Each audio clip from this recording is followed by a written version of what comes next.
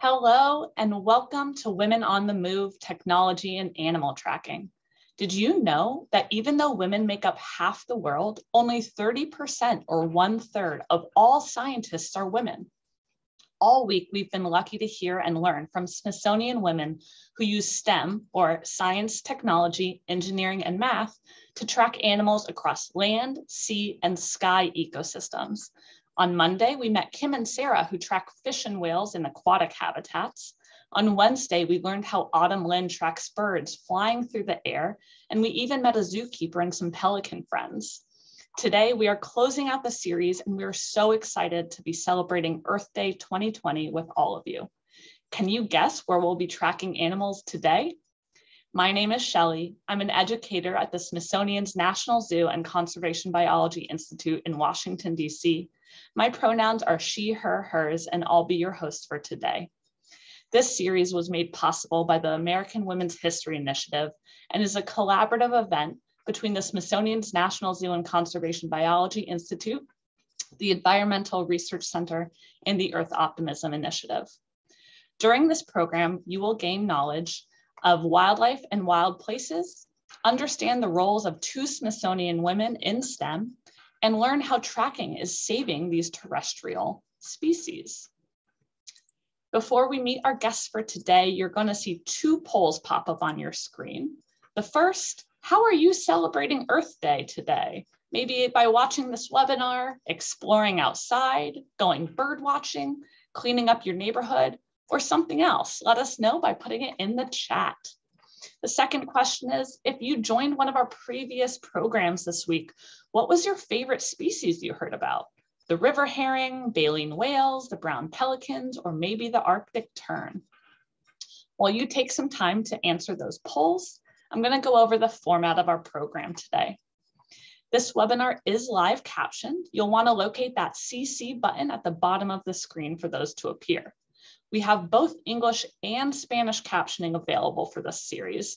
To access the Spanish live captioning, the link will be provided in the chat. This program is also being interpreted in two languages. To access the Spanish translation, locate that globe icon and select Spanish. You can see that we are also being interpreted in American Sign Language. This view is best viewed from a desktop computer rather than a tablet or phone. If you are having trouble with any of our services, please chat us so we can assist you. Remember, this is a webinar, so we cannot see or hear you. However, we encourage you to engage with us in a number of ways. You already saw that we'll be launching polls throughout the program today. Additionally, you'll see that the Q&A is open for you to uh, ask us questions. Use the Q&A at any time throughout the program to ask questions. Try to keep them on topic and you can check under the My Questions column to see if your question has already been answered.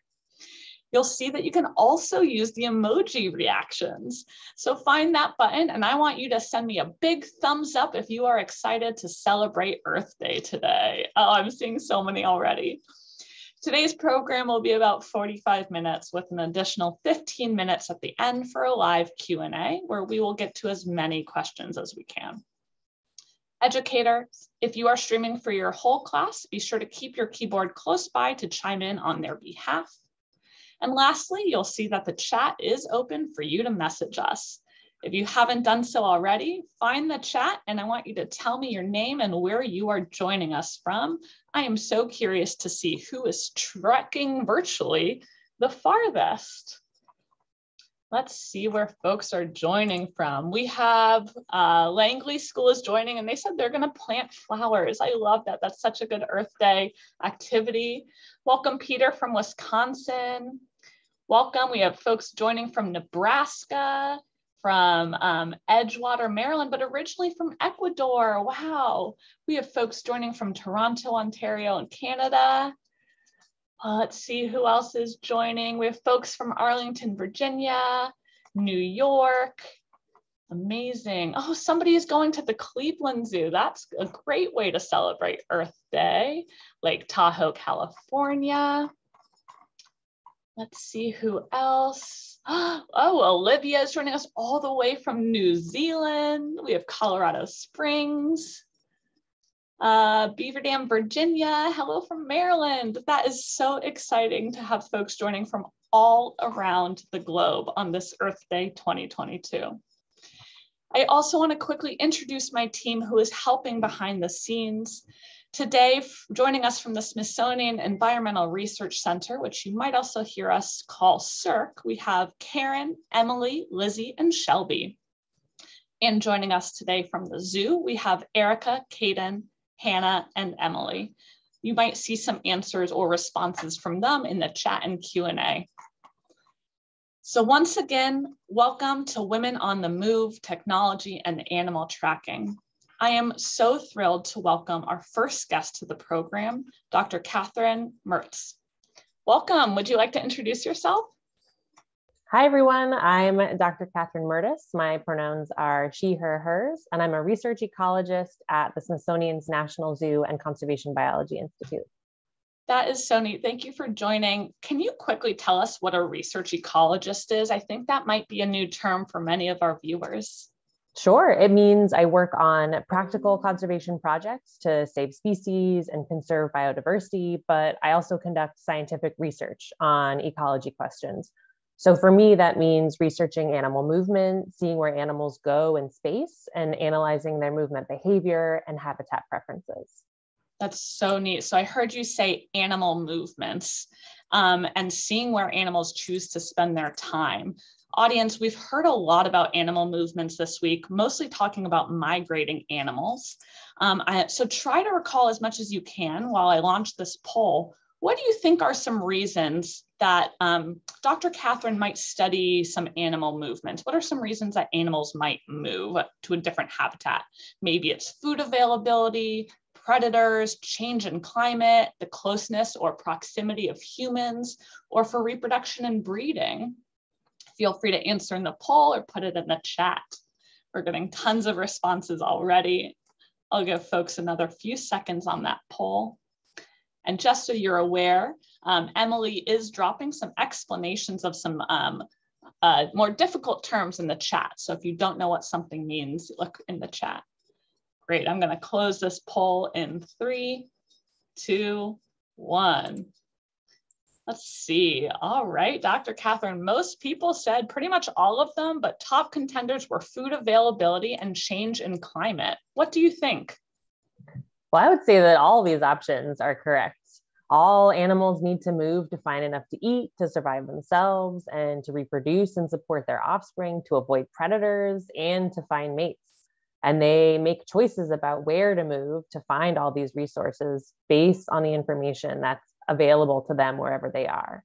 So I use data on environmental factors like vegetation conditions, rainfall, and temperature to understand the movement decisions that animals are making. Very, very neat. And so, what species are you currently studying and tracking? So, I track two species of African hoofstock, scimitar horned oryx and addax. Oh, wow. Oh, that's, they're so cute. Um, they look a little bit similar, but I am noticing some differences and I would love for our audience to put some observations in the chat. Can you notice any similarities or differences between these two different African hoofstock? And you can see, yes, Isaac, exactly. Their horns are different. You can sort of see that the addax, they almost have a little curve to them, whereas the scimitar horned oryx go straight back. Yes, folks are getting them. Um, oh, Alex uh, did say that their colors are just slightly different. Yes, Denise, you got it too. The horns and coloring are slightly different. That's great. So why are you studying these specific species? Well, scimitar horned oryx are actually classified as extinct in the wild by the IUCN Red List, and addax are critically endangered. There's probably less than 200 left in the wild. So by knowing where these animals move, how they use space, and what habitats they prefer, we learn what areas and habitats we need to protect to conserve them. I, I thought I heard you just say that the scimitar horned oryx was extinct in the wild. Viewers, if you know what the word extinct means, put it in the chat because when I hear the word extinct, I think of our dinosaur friends. Let's see what folks think extinct means. Eh, oh, yes, Langley got it. You are all getting it. Absolutely, Isaac. Extinct means there's none left. So there were no oryx left in the wild, Dr. Katherine? That's right. The very last sighting of oryx in the wild occurred sometime in the 1980s, and the only oryx left in the world lived in places like zoos. Wow. So none left in the wild. So, how did it get to this point? Why have they become extinct in the wild? Well, oryx were historically hunted in their native range in North and Central Africa, but World War II really brought 4x4 vehicles and advanced firearms to Northern Africa, which led to unsustainable levels of hunting on the species.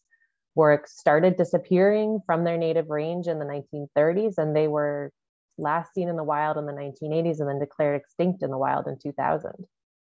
Oh, wow. So by 1980, there were no more oryx seen in the wild.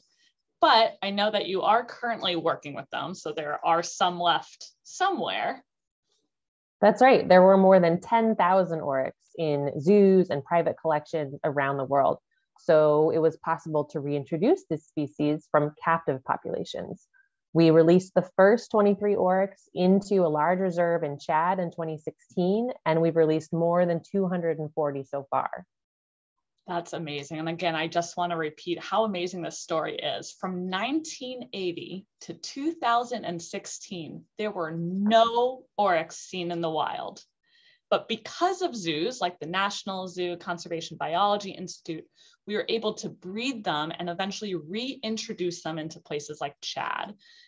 Personally, having worked with many zoo animals before, I know that a lot of our animals are probably used to humans. They know their keepers and their animal care staff. So I imagine you can't just release any oryx back into the wild. Can you walk us through this uh, process a little bit?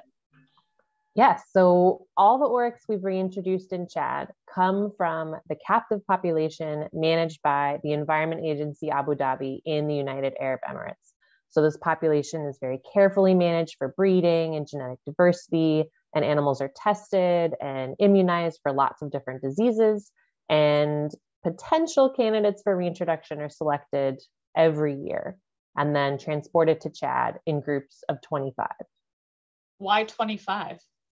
Because that's how many oryx you can fit on a cargo plane very efficient. Got it. So in groups of 25, they're selected, the ones that we think would make great candidates for a return to the wild um, and shipped over. That's really, really neat.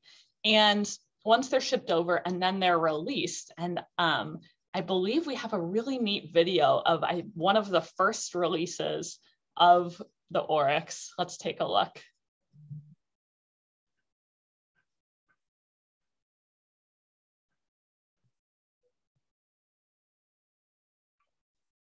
So this is just preparing, I'm guessing. Wow.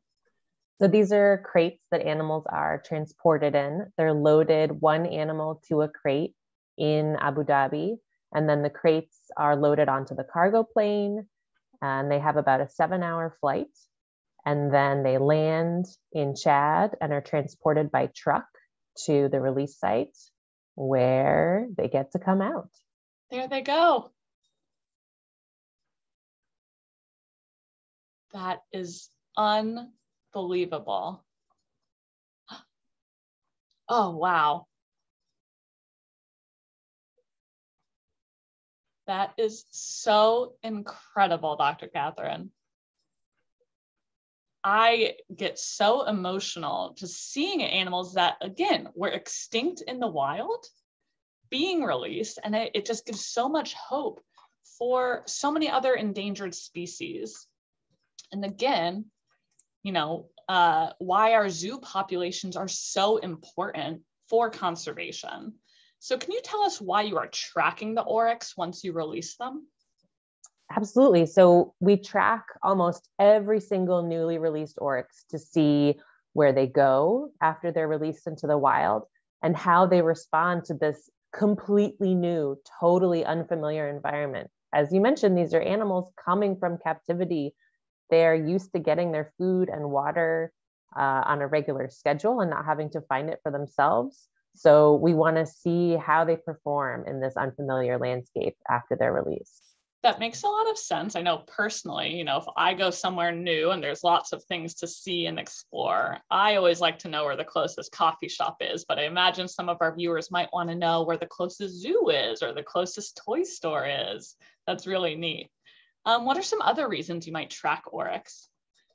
So we track oryx that are newly released into the reserve, and we also track ones that were born in Chad to learn whether animals with different experiences make different movement decisions or different habitat selection or use space differently.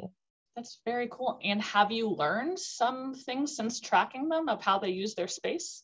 Well, we've learned a lot of things, but in really exciting detail is in just the last couple years, we've seen an emerging seasonal movement where reintroduced oryx are moving about 20 to 40 kilometers to the northwest during the wet season when there's more food, more grass available for them to eat. So you said 20 to 40 kilometers. Um, that's about 13 to 25 miles. That's a pretty long distance. Seasonal movement sounds a lot like migration. Is this a migration? It's like a migration in that oryx are responding to changes in seasonal conditions, but the distance they travel is pretty small, only tens of kilometers so far. That's really, really neat. Um, earlier this week, we learned about some larger animal migrations, like the Arctic tern that's traveling all the way from the Arctic all the way down to Antarctica. Um, so the, the oryx not always do this mini migration if we're just seeing it in the last couple of years? So part of what makes studying scimitar horned oryx so exciting is that we actually know very little about them. They went extinct in the wild before modern tracking technologies like GPS collars were available. So there's some historical evidence that oryx may have performed seasonal migrations, but these data are pretty limited. So it's just incredibly interesting to see this emerging seasonal movement, and we'll see if it will develop into a regular, longer distance movement as these reintroduced animals gain more experience in the wild. That's so cool that our technological advances are now providing us with such valuable data to back up back up what was historically probably anecdotal or just word of mouth of we think we're seeing this. So I see here some pictures of these trackers. It looks like collar trackers. We learned about acoustic trackers for river herring, some GPS backpacks on pelicans. Can you tell us a little bit more about the type of tracker you're using on the Oryx? Sure. Oryx are actually pretty straightforward to track. Their body shape is a lot like deer. So we can put a GPS collar around their neck and it won't slide around or get damaged too much it's much easier than tracking some other species like giraffe, where you can't really put a collar on their really long, sensitive neck, or some bear species that have short, thick necks and small ears so that they can push their collars off or they can slide off. So this is an example of a GPS collar that we use on Addax and Oryx in Chad. It weighs less than one, kilo- one kilogram, which is less than 1% of the typical body weight of an adult Oryx. And the environment in Chad is very open. There's not steep hills, there's not dense canopy cover. So there's very little interference with the collar's GPS signal or VHF signal. That's really neat. And then you can tap track them from anywhere in the world, or do you have to be on the ground in Chad to track them? We can track them from anywhere in the world. We have a field team who can do track radio signals and VHF tracking, and then we can see their positions from anywhere. And can you show us their positions right now? Absolutely. That's so cool.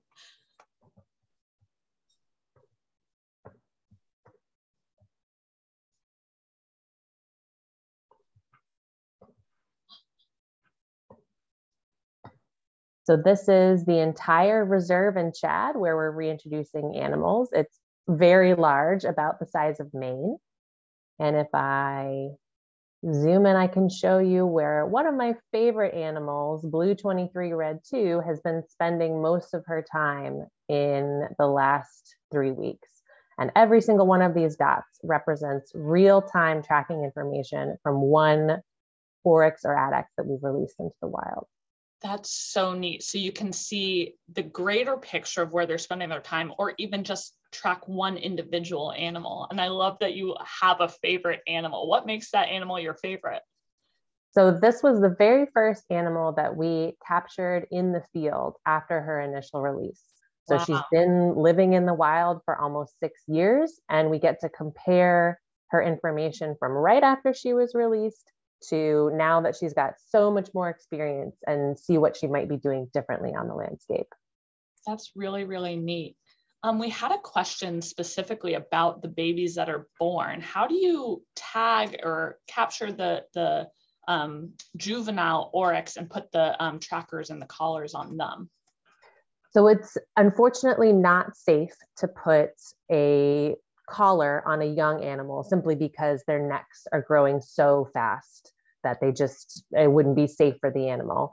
Um, we can we've been developing some really interesting alternative tracking devices that we might be able to put on younger animals like on their horns. Got it. And do all of the trackers run on batteries? That's right. So our collars that are about one kilogram all the batteries are in this one little part of the collar and so we can't put that many batteries in it because then it would be too heavy for the animal to carry so all of our collars can last for up to three years. And that's our limited slice of their adult lifetime that we can see using collars. Got it. So if you wanted to track for longer, you would need a different type of tracker? That's right. So those horn mounted tags I mentioned are also solar powered, and we're trying to develop them to track the species for more reproductive cycles, so get a better sense of how many calves they can produce, and just get a longer timeline of how they're behaving after reintroduction. That's so neat. So, just to reiterate, you are trying this new innovative type of tracker that is a solar powered tracker that you mount on their horns instead. See if you can spot it. Send me a thumbs up if you could spot that tracker on this picture of these scimitar horned oryx. Those blended in so, so well. That is so amazing. Um, Dr. Katherine, this has been such an incredible story to hear about how um, you are tracking these critically endangered, extinct in the wild animals, and you're trying these um, new innovative trackers. Are you shipping these trackers to Chad and trying them on the animals there? Well, one of the benefits of working in a place like the Smithsonian's National Zoo and Conservation Biology Institute is that we can work with captive animals kind of as a test collection to try out these new technologies. So we worked with the ungulate keeper team at SCBI to test some attachment mechanisms and some functioning tags on captive oryx to see how well they worked, if they were damaged by oryx using their horns, and we collected a lot of behavioral observations and fecal samples to make sure that animals didn't get too stressed out when we attached these trackers. That's really, really neat. Now, switching gears a little bit, how did you get into this career saving species like the oryx and the addax? Well, I always liked animals and I actually grew up in Northern Virginia. So I went to the Smithsonian's National Zoo quite a lot but I wasn't really into science or math until kind of late in college when I figured out that I liked ecology. And then I did a semester abroad in Australia themed around ecology. And I did a senior project on buffer zones around protected areas. And that really set me on my path for working in ecology and with wildlife for my career. It's nice to hear that even though you didn't originally have interest in science and math, that you still found a passion in the science field um, and a way into this field a little bit later in life. Um, that's really great. And do you did you have many women mentors um, getting into this field? Are there a lot of women doing this kind of work? Well, there are definitely women in the field, but most animal movement researchers are men. And I was lucky enough to have a great woman mentor actually when I was getting my master's degree. I took several pretty tough spatial analysis and remote sensing courses at the same time, which I would not recommend. That was a really tough semester, but the same woman professor was teaching both courses and she was really supportive and eventually helped me apply to PhD programs. And then it turned out she moved to the institution where I was accepted for my PhD and ended up being the remote sensing specialist on my PhD committee. So, two classes in one semester turned into about seven years of mentorship and collaboration. That's so nice that it worked out that she was able to sort of follow your same path uh, along and you had her the whole way. And I don't want to ruin the surprise of our next guest, but there is another woman who works on the same project with you, correct? That's right. And it's someone who has taught me an incredible amount about working in conservation biology, especially how to work successfully with big international teams on large scale conservation projects like this. It's Dr. Melissa Songer. Awesome. Thank you so much, Dr. Katherine, for sharing this amazing work and project that you're doing to save a critically endangered species, a, species that's extinct in the wild. Um, and we will see you in a bit for our Q&A. And I am so pleased to welcome our next guest, Dr. Melissa Songer. Welcome. Would you like to introduce yourself? Sure thing. I'm Dr. Melissa Songer. My pronouns are she, her, hers, and I'm a conservation biologist at Smithsonian's National Zoo and Conservation Biology Institute. That's so neat. We just got a sneak peek into one of the projects that you work on, but can you briefly tell us what a conservation biologist is? Sure. A conservation biologist can be many things, but a key part of the job is that we're not just answering important questions about nature, but we're using what we learn to solve conservation challenges, such as saving endangered species. And the tagline I like to use is that I'm developing and implementing science based strategies for restoring endangered species and their ecosystems. I love that science based strategies. And again, we just heard this reintroduction story of the oryx almost going extinct. Besides the scimitar horned oryx, what are some other species that you are studying to save? In addition to the oryx, I work on giant pandas, Przewalski horses, Asian elephants, and swift foxes.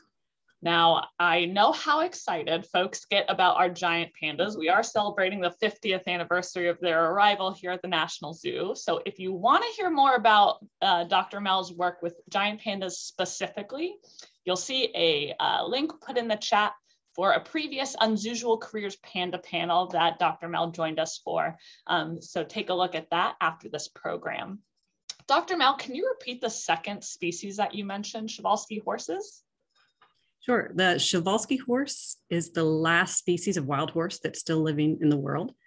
And it's pronounced a little differently than how it's spelled because it's a Polish name. It's taken from the explorer that first reported the species to European scientists. Got it. And so give me a thumbs up with those emojis if you've ever heard of a Przewalski horse before. And let's all practice saying this together. Przewalski. That's great. So we do like to call them P horses for short. So you might hear us refer to them as that. So Dr. Mel, can you tell us a little bit about why you are studying P horses? Well, they once ranged over desert and steppe habitats across Central Asia and Europe but a combination of changing landscapes, increasing hunting, and especially livestock pressures drove them to extinction in the wild by the end of the 1960s. Oh, wow. So similar to the oryx, extinct in the wild. There were none left in the wild, but does it sound similar? There were maybe still some in zoos? Yes, there were still some in zoos and reintroduction efforts to return them to the wild began in the 1990s in Mongolia and then later in China and other parts of their former range. So the goal was to help them get back to the wild. Wow, that's so amazing. Um, so again, once again, all these organizations like the National Zoo and Conservation Biology Institute took what P horses we had, began breeding them for eventual release into their native lands. That's what, right. And what is your research focusing on specifically? Well, my research focuses on what they do after they're released to the wild. And these are, again, like the oryx, are horses that have been fed and lived inside fences their whole life. Suddenly they have to find food, water, figure out how to survive a range of challenges they've never had. So there's a lot they need to learn. And then there's a lot we want to learn about them since they disappeared before scientists really had a chance to study them. Yeah, of course. Again, the presence of technology gives us so much a bigger advantage into studying these animals. And how exactly are you studying all these questions that you raised? Well, again, one of the great things about being with the National Zoo and SCBI is that we can learn a lot about the P horses basically in our own backyard about their hormones, their stress, health, nutrition, even social behavior wow, that's really, really neat that you can just use the animals that we have in our collection here to influence the changes that we make for the species in the wild.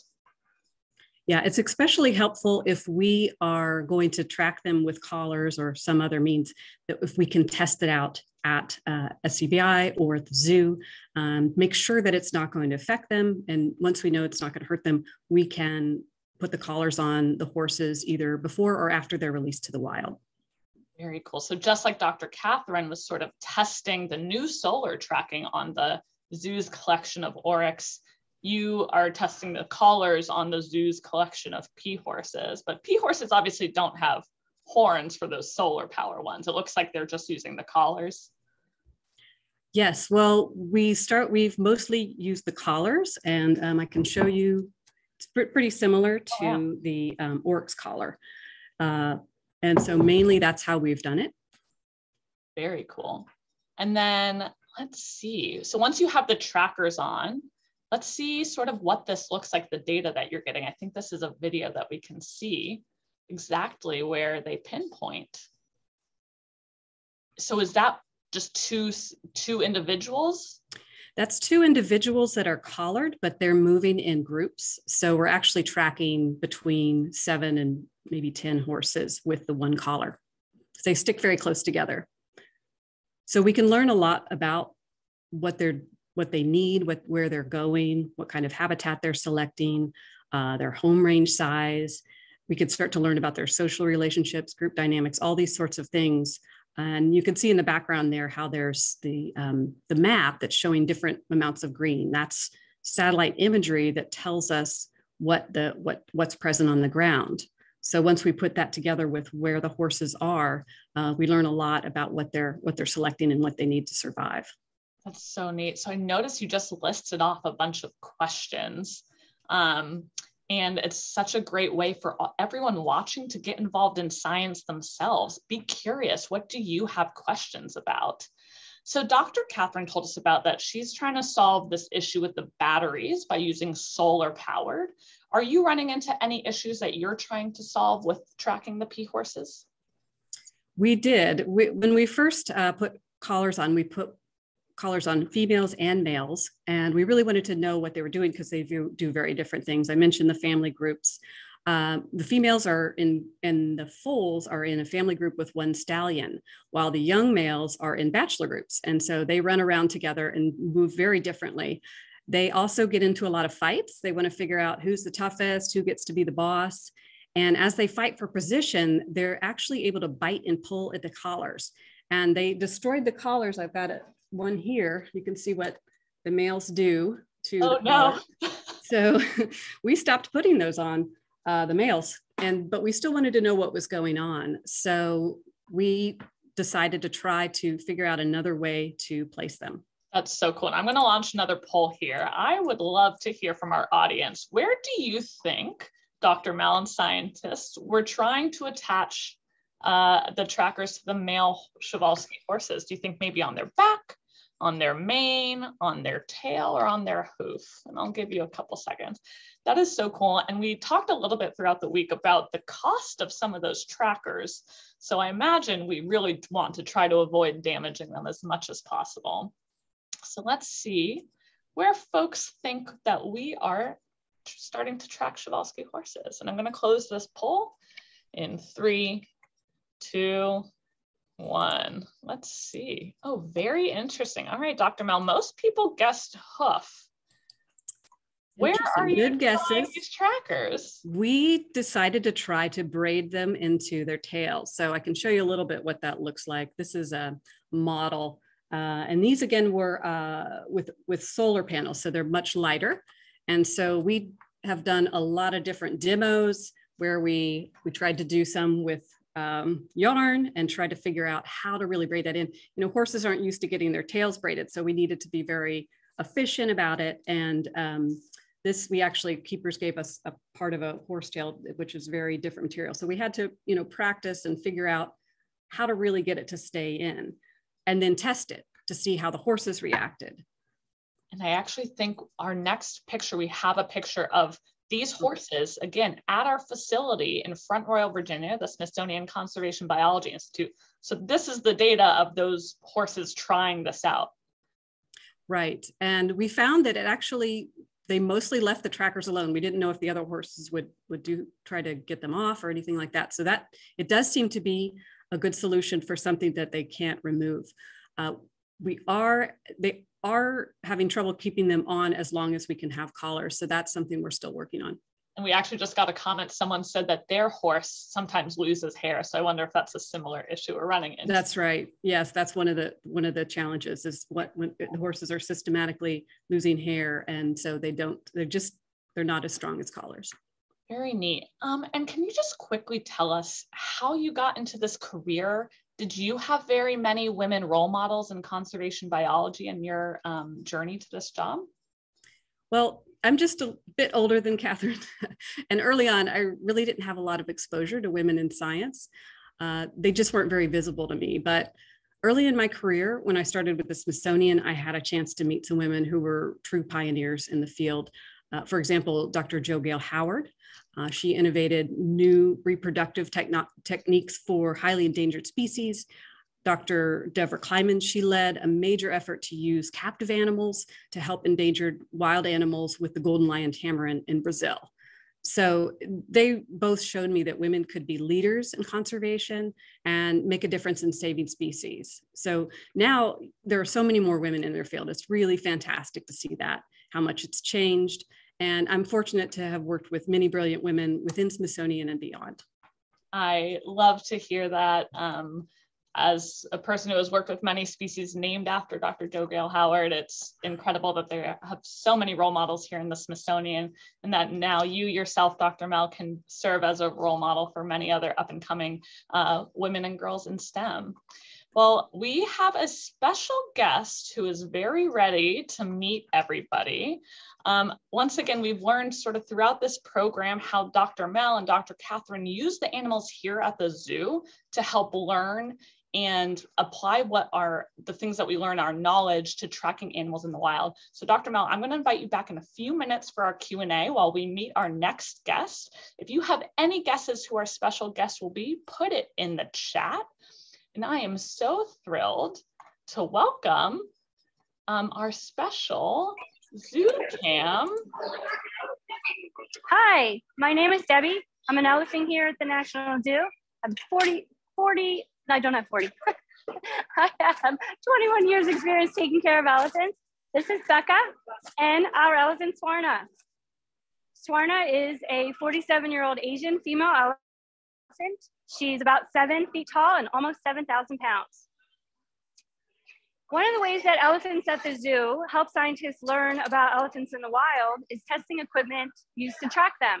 Today, we'd like to show you how we put a tracking unit in a bracelet on an elephant. Want to do that? So we've taught Swarna how to lift her foot. Ah. Stage fright. She's gonna lift her foot. She's gonna extend it and hold it in place while Becky puts the bracelet around her wrist and attaches the clip.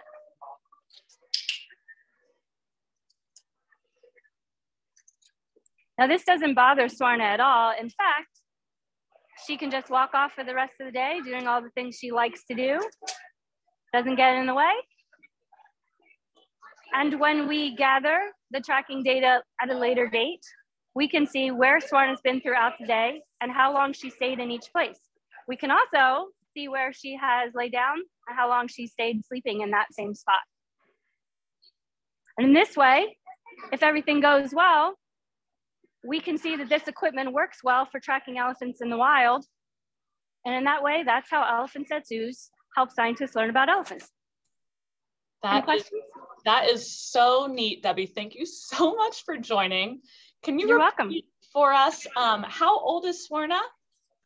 Swarna's 47 years old.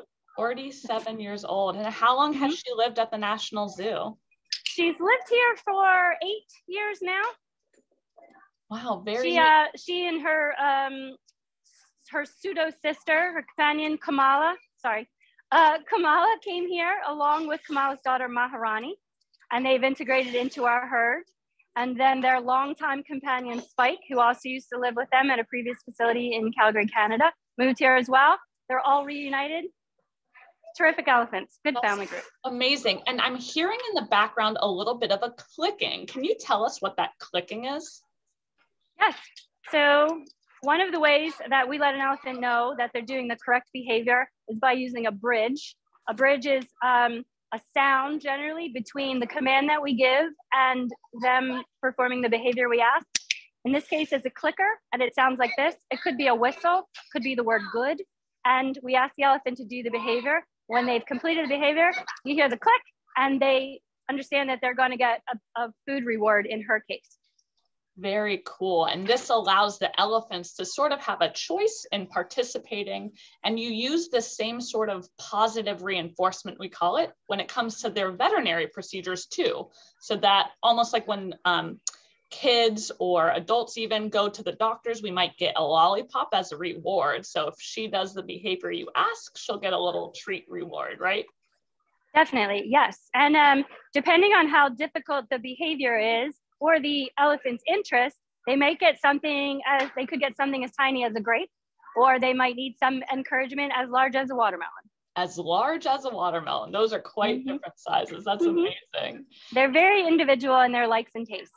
That's so amazing. So I noticed obviously here you're using a bracelet, but in the wild, we know that they're using collars. What is the difference yes. between those? We actually have a radio tracking collar so that we can show you. It's well worn, probably not unlike what a radio tracking collar would look like after it had been removed from an elephant living in range country for a long time. Becky's gonna bring that up for us. Whoa, it's very heavy to us, not for elephants. This is the component, like I said, but um, we, it's connected by these little screws and this metal plate. So we would ask one of our elephants to come close we practiced for a very long time, throwing it up over their neck, um, pulling it down, attaching it, and then we tested that equipment as well to make sure it was comfortable for the elephants, didn't um, cause any abrasions or stop them from feeding or lying down to sleep. Um, and then we actually tested it on the, on the one specific elephant we worked with. We checked her for those things um, every single day. I kept note of it and she was fine. There were no behavioral changes. And um, and this was the actual collar. And they are actually using the for, these collars for tracking elephants in the wild. Oh my goodness, thank you. It's so amazing. And I did launch a poll, Debbie, and people were guessing on how much an elephant tracking collar weighs five pounds, 10 pounds, 25 pounds, or 50 pounds. Do, do you know off the top of your head how heavy that was? Hmm. I maybe 25 or 30 pounds. It's yes. pretty, it, it seems pretty heavy to us. The, the higher you hold it, the heavier it is. But for them, it's really no big deal at all. So I, and I don't, don't even think they really notice it. That's really amazing. Debbie, thank you so much for joining and for giving us this special view. And once again, how our zoo animals, like our Asian elephants, like Swarna here, help to trial things advance our technology, advance our knowledge to help their wild cousins. Debbie, again, thank you so, so much for joining. We had just the best time. And we have reached our 45 minutes, folks. So I'm going to launch our last polls in case some folks need to leave. And um, I am going to invite Dr. Katherine and Dr. Mel back on. So keep those questions coming in the Q&A and we are going to dive right in. And this closing poll is, how did you feel about today's program? Did you love it, like it? It was okay or not for you? And how did this program leave you feeling? Connected to the Smithsonian, motivated to save species, curious about careers with animals, and inspired by women in STEM. Once again, thank you so much for joining Dr. Katherine and Dr. Mel. We have gotten so many questions. And let's start with Nicole asked, this is for Dr. Katherine, um, are oryx predators in the wild or what are their predators in the wild? So while oryx may occasionally fight each other, especially the adult males do for mating opportunities, they uh, are subject to predation by a number of other species. In the reserve where we're introducing oryx in Chad, the only predator of oryx that's left in the wild is the jackal. And so they're fairly small, dog like animals that would mostly predate very young calves, less than 30 days old. Oh, wow. And um, how many babies have been born? The Langley School asked. So more than 330 scimitar horned oryx calves have been detected in the wild in Chad since the first animals were released in 2016. So it's a really rapidly growing population and it's really incredible to see how frequently and how many tiny little baby oryx are being found in the wild. I think, you know, animals that have been reintroduced and successfully breed and have babies is the ultimate sort of measure of success, right? Absolutely. Our primary goal, and really the goal of any reintroduction program, is to establish a, a self sustaining population that can keep itself stable or growing through reproduction and low mortality. So neat. Um, Dr. Mel, the next one is for you. So we saw Swarna show us her hoof her paw to um, put the bracelet on, but obviously our wild elephants aren't going to be trained for this behavior. Can you walk us through a little bit of how you would put a collar on a wild Asian elephant? Sure, it is quite an operation. And the work where we've done the most of the collaring has been in Myanmar. And there they have many, many what we call working elephants. They actually work in timber operations, they do the heavy lifting. So they're very trained here you could see one. And we work with a team of, of elephants, of four or five elephants, and they are actually trained to help capture other elephants. In there, they're actually trained for capturing them for more work, but we work with them in order to capture and collar them. So uh, dart we have trackers that that find them and we dart them with very strong and basically it's it's um they go to sleep get the collar on and then we reverse the drug and move away very quickly. And uh, yeah it's it's it's really exciting operation. And um, the elephants really get all the credit. They're very highly trained um, in terms of being able to deal with a with a wild elephant and not run away. That's so amazing. So we did see some maps earlier from the Oryx and the Przewalski horses, but this is great of an elephant wearing one of these collars and exactly pinpointing where they're traveling to. Um, this yes. is great, a great question, probably for both of you. I'll leave it up to you who wants to answer. Lindsay asked about removing the trackers once the batteries run out. How do you do that? Well, I can answer for all of the collars that we put out on Scimitar, Horned Oryx, and Addax. And for many of the collars that are made these days, they actually have an automatic drop off device. So there's um, a section in the collar that will actually separate on a program date or after a certain amount of time. So the collar will simply fall off the animal and you can go pick it up in the field. And you can also insert what are called weak links. So, a more fragile material than the typical leather or nylon of the collar belt or the tag bands that will gradually wear away over time and fall off the animal after a couple years or so. That's so neat. Is it the same for the elephants too? It is now. It, it originally there were uh, not really those kind of remote drop offs, but now we've built in things that will rust and make sure that they're not wearing that for their whole life. Again, another cool advancement in technology that they'll just automatically and we can salvage those pieces and reuse them. That's fantastic. Um, Alex and Andrew had a question about which um, organization breeds the most Przewalski horses. Which breeds the most? Well, actually, the uh, Wild Horse Breeding Center in Xinjiang, China is the largest. They have approximately 120, 30 horses. Uh, and this is one of the organization that we work with that's releasing horses in the northwestern part of China. That's so neat. Let's see. And again, questions for both of you. I believe um, Dr. Katherine briefly mentioned this, but do the trackers, do these collars bother the animals at all? No, and one of the kind of ground rules for tracking animals, and that's been mentioned for all the species we've talked about today, and probably on the other days, that you guys have hold, held similar programs, you can't make it too heavy. So that's the critical first piece is making sure that the weight is sustainable for the animal to carry over time. And then um, so that ties into solar powered, battery powered, all these questions just to make it as light as possible. And then working with the captive collections to check their behavior. Are they stressed?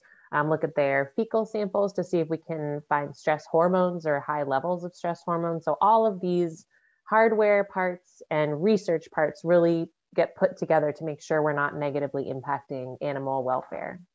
That's so amazing. Um, Great. And another question from Alex and Andrew. Um, Mel, what have been your favorite moments from working in the field? Well, definitely seeing a, a species be, being released uh, and visiting, seeing, and being able to see them in the wild and think, this this animal didn't used to be free, and that's that's a highlight, regardless of the species. To to see that, uh, it, it really I don't know, that's probably the most exciting thing. That's so amazing. And so both of you have talked about studying the ecology, the environment, the habitats. Have you noticed any changes in the ecosystems that you are reintroducing the once extinct animals back into? Well, one of the things that helped settle where oryx and addax should be reintroduced in Chad was a long term analysis of vegetation and climate trends.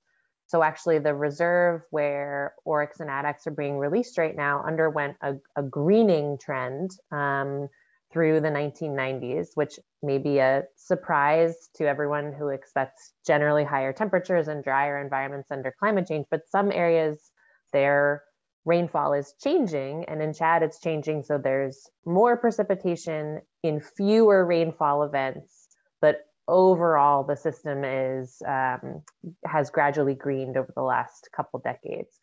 Short-term changes, we're seeing lots and lots of livestock. So in the reserve in Chad, people will families will bring their camels, their goats, their sheep, their cows into the reserve during the rainy season to take advantage of all the green grass. And over time, there's just been more and more and more livestock coming in. So there's a lot more cows around the oryx than there used to be in Chad. All right. Are you seeing any changes in the ecology where the Przewalski horses or Asian elephants live, Dr. Mel? Well, we have seen some similar things where we see increased uh, human impact in that way. So in um, Mongolia and Hustai Nuruu, where we work, we've been seeing more um, more livestock coming in, and that is a concern because there can be, you know, not enough forage for everybody, and, and some of the overlap we worry about. Uh, in in China, one of the one of the challenges we've seen from human activity is, was from development of drilling some oil. And it, it's a very large reserve, 14,000 square kilometers, but there were areas where they were starting to, to build up areas that were uh, for mining.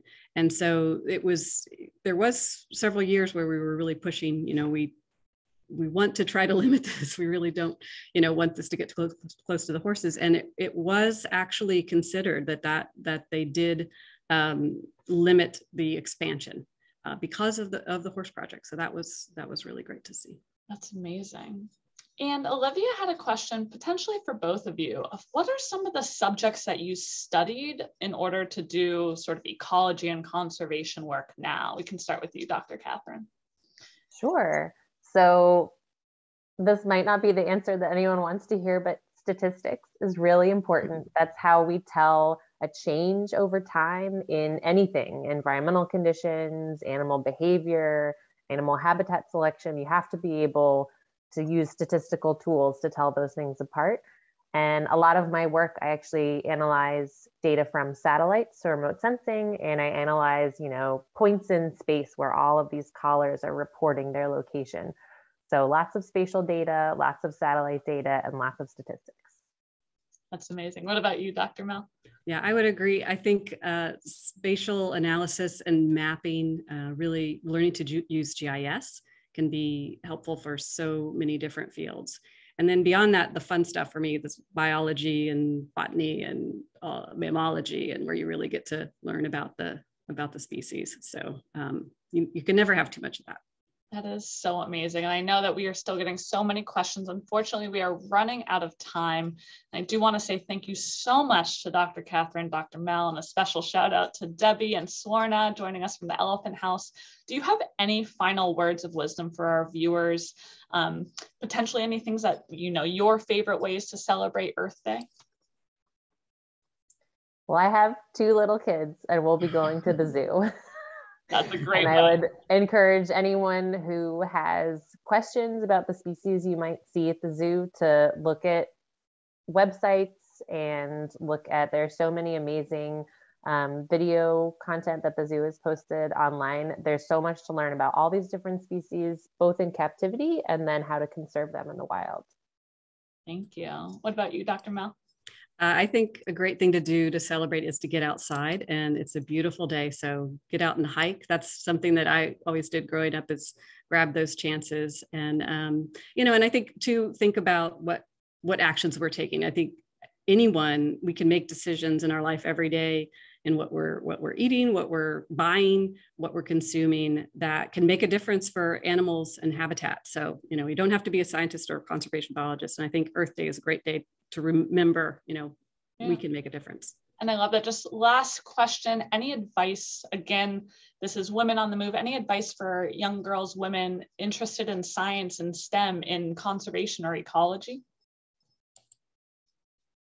Um, well, I, I think about this like when I was a young girl, what would I tell myself? And something that it's that always was a problem for me was speaking up uh, whether it was being the only woman in the room or just being a shy person. I struggled with speaking to groups. Uh, but I think if you stay quiet, you're really missing opportunities for connection and contributing to ideas. So I, I guess that's a message that I would I would say to to women. Um, you know, make yourself heard, and um, I I think um, you know the more you do that, the more the easier it gets. So I love that. Thank you so much. Well, thank you both for joining us on this Earth Day. We had such an amazing time this week highlighting women on the move and learning about scientists tracking species across the land, air, and sea habitats. Thank you so much, Dr. Mel and Dr. Katherine, for joining us. While we have been talking about saving species around the world this week, there are some things that we can all do to help save species, as we mentioned. One, to help our aquatic species that we learned on Monday, like our herring and our whales, we can eat more sustainable fish. To help our shore and seabirds that we learned about on Wednesday, avoid single-use plastics. And to help our um, animals here at the zoo, like our Przewalski horses, our oryx, and our Asian elephants, come visit or support the zoo by watching these webinars, visiting, um, telling your friends and family all about what you learned. You can help support the zoo and some of these amazing species. Um, after learning about how scientists track river herring, whales, birds, oryx, Przewalski horses, and elephants, we want you all to now put on your researcher hat and think of an animal that you would want to track and design a tracking device for that animal. You'll be able to find this tracking activity on our website later next week, and you can submit your drawings through our website and we'll post them on our Learning Lab as well. Recordings of all three programs will be made accessible and posted on our website along with more resources next week. And if you're posting to our social media, to your social media, be sure to tag us and hashtag because of her story. We would additionally love your feedback on today's program. You'll see a survey pop up when we close this webinar. Educators, if you wouldn't mind taking a few minutes to fill that out.